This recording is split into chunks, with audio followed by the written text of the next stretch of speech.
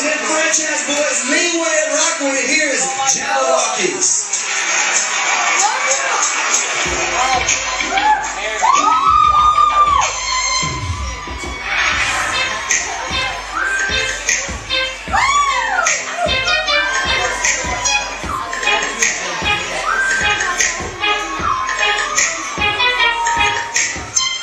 Thank.